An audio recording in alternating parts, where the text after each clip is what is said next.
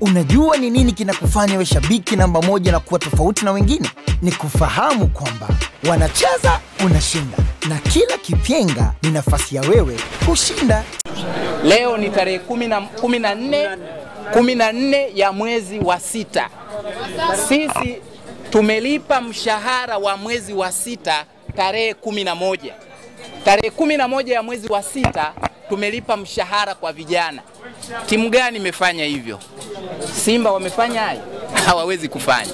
Yanga wamefanya hayo? Hawawezi kufanya. Kwa hiyo vijana wanacheza bila stress yoyote.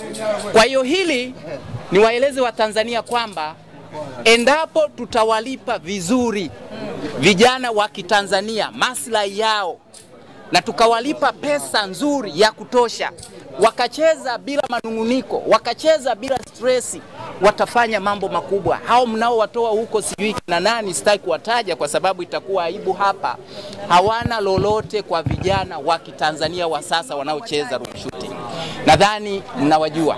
Mimi, mimi, mimi niseme tu kwamba soka la Ruvu Shooting kwa sasa kwa nchi hii, pengine Ruvu Shooting ina sifa kabisa kwa sasa kuteuliwa kuwa timu ya taifa la Tanzania kuiwakilisha nchi katika mashindano ya kimataifa, kwa sababu mchezo wake inayocheza kwa sasa ni mchezo wa hali ya juu sana.